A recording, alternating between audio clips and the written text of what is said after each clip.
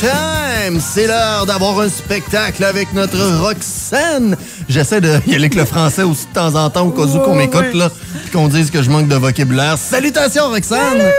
Hey, comment ça va? Ça va bien. Ça va bien? Oui. Grosse journée, toi? Ben, pas mal dernier gros 24 heures avant une très grosse journée. Gros mois. Ouais. Elle va deux semaines, on sortait notre magazine, puis là, on sort encore de quoi de nouveau? Ben oui, puis tu viens nous en jaser en primeur. Oui. Ça sort demain. C'est ah, c'est le fun, c'est le fun, c'est le fun. Il est super beau aussi. Premièrement, je viens de voir euh, ton nouveau livre. Ah, il est très très cool. Parle-nous-en donc un petit peu là pour C'est notre commencer. deuxième livre qu'on a euh, fait avec euh, la maison d'édition Pratico Édition. Donc, c'est un livre euh, réservé aux collations euh, en tout genre. On parle de collations sucrées, collations sa- salées, snacks, grignotines. Euh, puis une belle section de dessert aussi. Puis évidemment, euh, on poursuit avec chaque recette un code santé euh, pour aider à faire des choix plus équilibrés ou pour se gâter. Euh, les allégations sans gluten, sans lactose, végé sont également là. Euh, vraiment un très beau livre pour se sucrer de bec sans culpabilité. Qu'est-ce qui fait que tu as décidé que le prochain livre ce serait sous le thème justement des collations? Est-ce que ça vient avec l'automne qui s'en vient? Y a-t-il une thématique en particulier Hey, même pas. C'est à Même cause pas? que je vois, moi, ma clientèle, à chaque fois que je fais des pop-up live le jeudi, les recettes de dessert, de collation, c'est quelque chose qui est très, très, très aimé. Puis c'est drôle à la fois parce que c'est très aimé, mais c'est souvent la chose qu'on va supprimer quand il y a une question de perte de poids. Fait que je voulais vraiment démontrer qu'on peut euh, manger des desserts, prendre des collations et euh, tout en conservant justement notre objectif euh, de prêt. La première chose, moi, que je me dis en me disant crime, c'est le fun d'avoir un livre sur des belles idées de dessert qui sont bonnes et qui font attention aussi Oui. euh, pour notre ligne. C'est que c'est un double positif. Ben oui. Parce que tu le disais, normalement, le dessert, c'est ce qu'on va éliminer de l'alimentation Mm-hmm. pour se priver parce que, ben, tout simplement, on, on se barre pas la tête puis on dit, ben, je prendrai pas de sucre. Mais là, c'est là que ça fait en sorte qu'à un moment donné, tu commences à avoir une rage. Tandis que de pouvoir te gâter, mais de manière adéquate, Oui. ben, ta rage de sucre, elle s'en vient pas. Ben c'est ça exactement. Puis c'est surtout sur la motivation ça va jouer sur les humeurs. T'es aussi, fier, j'imagine, Ben après oui. ça. Hey, yes, j'ai enfin réussi à me faire des desserts. Je me sens pas coupable après, puis c'est bon. Oui, exactement. Ça, c'est un feeling qui doit être le fun à avoir aussi, il paraît. là. Vraiment. Moi, j'ai. Puis, tu sais, là, l'école a recommencé aussi. Puis, pour les parents qui, qui font des boîtes à lunch, on sait, les collations, ça coûte extrêmement cher. Mm-hmm. Ça- Tu sais, une boîte de. Boîte d'abortante, c'est 5-6 piastres facilement, là, pas en rabais maintenant. Là. Puis euh, j'ai une, une amie qui l'a eu en exclusivité, mon livre. Euh, puis euh, déjà, en une semaine, depuis qu'elle l'a, là, elle a remarqué sa facture d'épicerie. Ah à ce point-là, ouais, elle a trois jeunes garçons, là, puis elle a déjà remarqué euh, l'économie qu'elle se fait en cuisinant les recettes. Là. À faire justement les petites collations puis les Oui. petits desserts versus les, de les acheter déjà aussi tout transformés.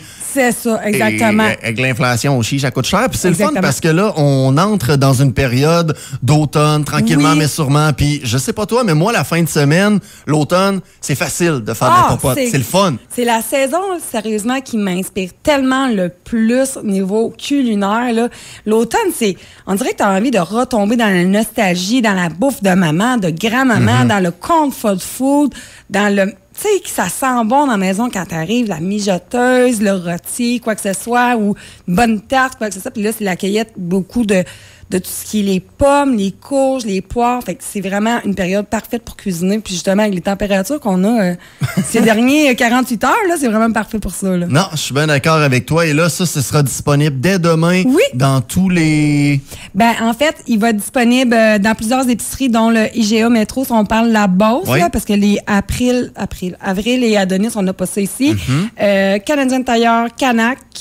Euh, là, je parle vraiment pour la Beauce, là, mais j'ai tout mis les points de vente euh, sur notre site web. Euh, je vais les mettre, en tout cas. C'est ça, Canac, euh, puis j'ai dit quoi, non? Canadien Tailleur. Oui. Pharmacie, il va y avoir Family Prix, euh, Fam- Family Prix, Pharmaprix, Brunet, Jean Coutu. Fait que si je comprends bien. Puis Walmart et sur notre boutique en ligne, la livraison est gratuite également. Bon, parfait. Ça, je voulais qu'on en parle aussi. Oui. Livraison gratuite, ça Oui. peut être beaucoup plus, ben pas plus simple, mais c'est le fun de pouvoir passer directement par le marchand. Oui. Roxane Cuisine, super simple, Oui. livraison gratos. Oui, puis on peut le dédicacer. Ben, on. Je vais le dédicacer.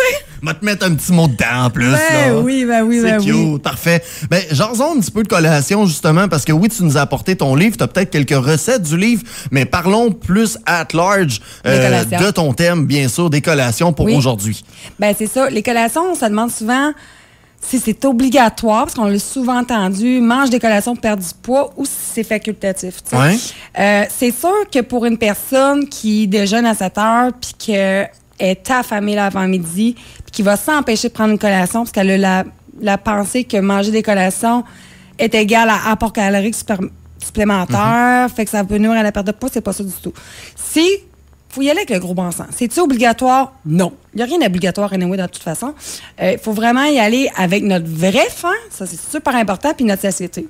Fait que si tu as faim rendu à 9h30, prends une collation santé, ça va t'éviter d'arriver à ton l'heure de lunch affamé tu as envie de manger un ours, de manger vite, de manger plus, puis d'être moins à l'écoute de ta satiété. C'est là le danger si tu prends pas. Hmm, Puis j'ai, l'impression, moi, qu'avec les collations, ce que je trouve tannant, c'est que personnellement, dépendamment des journées, puis c'est un petit peu ce que tu disais avec le gros bon sens, ça arrive des fois que le matin, tu te lèves, puis ce matin-là, ben, tu déjeunes, t'as faim. Mais là, à partir du moment que tu as toujours ta collation, tu sais qu'elle est à 11 heures, il y a des fois peut-être que tu n'auras pas faim.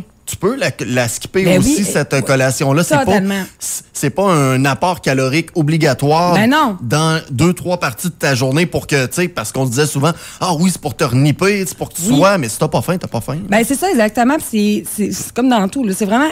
Ça, c'est la base de la perte de poids. Je veux dire, si tu n'es pas à l'écoute de ta faim, de ta société, tu vas trouver ça plus difficile. Fait que c'est vraiment de prendre le temps de se poser la question, de faire une espèce de rétrospection. Rétrospection. En tout cas, de se poser la question. Fait que si vous n'avez pas faim, prenez-le pas. Mais si vous savez, vous ressentez une vraie faim, ou peut-être aussi vous avez un manque d'énergie, prenez une collation. À la limite, prenez de quoi de plus léger plus petit. C'est pas obligé d'y aller gros, gros, gros comme collation. C'est vraiment une collation, c'est pas un repas. Euh, donc, pour éviter justement d'arriver affamé au prochain repas. Mais à la fois, si tu as tendance à grignoter toute la journée, sans trop t'en rendre compte, tu t'en rends compte peut-être aussi, c'était mieux à la place de grignoter tout le temps ici et là, ici et là, entre tes repas, de prendre une collation fixe. Parce que tu sais, à un moment donné, grignoter ça, ça, ça, ça, ça fait en bout de ligne que tu vas souvent consommer plus que si tu aurais pris juste une collation dite standard. là. OK, donc, c'est pas à dire un peu, mais de réguler ta collation. Parce que ça. si tu collationnes à travers ta journée, ben là, sur, sur les 8 heures, veux, veux pas, tu perds un peu parce qu'on veut pas tout le temps compter notre apport calorique Non, et tout. non, non, non, Mais non. ça reste que si tu manges à travers toute ta journée parce que tu dis, ah, ça, ça va m'aider, ben au final, tu manges Ça un peu t'aidera trop. peut-être pas, c'est Ouais. ça exactement. Euh, donc, les collations, comme, vous, comme on l'a dit, c'est facultatif. Si vous avez faim, prenez-la. Puis, je voulais faire un petit APCT des, des, des choix de collation, dans le sens, pour qu'une collation soit saine, qu'il soit efficace, je vais dire ça comme ça, Ouais. c'est important de se trouver une source de glucides une source de protéines. Encore plus si on est quelqu'un d'actif, là, on va se le dire. Là. Euh, donc, si on pense euh, glucides, on peut penser à des fruits, compote de fruits, euh, des craquelins, des fruits séchés, des céréales, du yogourt, des légumes. Il n'y a pas énormément de glucides, mais il y en a quand même un peu. Des muffins de maison, des galettes de maison, des bartons de maison. En tout cas, il y en a plein de recettes là-dedans. Euh, si on passe aux protéines, on pense aux légumineuses, donc aux mousses, entre autres, ou des pois chiches euh, croustillants. Euh, du fromage, noix et graines, du yogourt, particulièrement le yogourt grec, euh, beurre de noix, des édamames, du lait. Ça a toutes des sources de protéines. Fait qu'on essaie de combiner les deux pour avoir une collation rassasiante. Oui, c'est ça. Par exemple, si on pense glucides plus protéines, euh, c'est ça que j'ai fait, j'ai essayé de faire à travers le livre.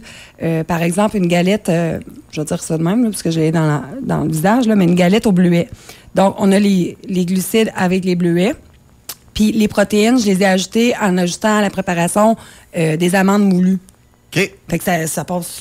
Fait que je comprends bien le fameux calcul mathématique pour avoir un bon apport qui fait en sorte que tu vas te sentir euh, Rassasié. rassasié. Oui. Ben, toi, tu l'as déjà pas mal fait dans ton Oui. livre pour ce qui est des idées, justement. Oui. Puis j'ai aimé ça quand tu as parlé de bartende aussi parce que, Oui. tu sais, souvent, oui, OK, des galettes puis des biscuits, on peut s'en faire, on peut se les faire maison. Des muffins, on connaît un peu la recette aussi. Mais des bartendes, souvent, tu sais, pour un petit accord pour un petit apport, pour OK, je m'en, je m'en vais au travail Exactement. ou pour les enfants, tout simplement. La bartende, souvent, on l'achète en vrac. C'est comme plus facile un peu, puis Ben, ça reste sûr, beaucoup plus sucré. mais pourtant, il y a tellement des recettes de bâtons sans cuisson, ça Hey, prend. c'est- Puis c'est tous des ingrédients qu'on a à la base à la maison, du flocon d'avoine, du beurre d'arachide qu'on peut remplacer par du beurre de soya pour l'école, entre autres, par exemple. là? Fait que c'est super simple à faire, Mais honnêtement. ça se congèle beaucoup. Il y a beaucoup de recettes là-dedans. Je parle pour les parents, là. Beaucoup de recettes qui se congèlent là-dedans. Fait que vous en faites une batch.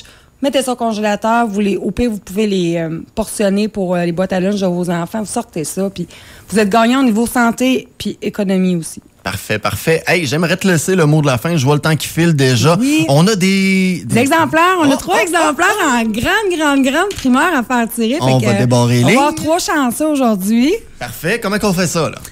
Attends, tu veux, 418 226 2997, c'est ça? 2997? Ah, oui!